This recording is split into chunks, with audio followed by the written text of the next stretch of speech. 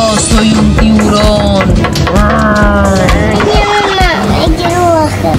Mauro y Juanito, me los voy a comer. Te voy a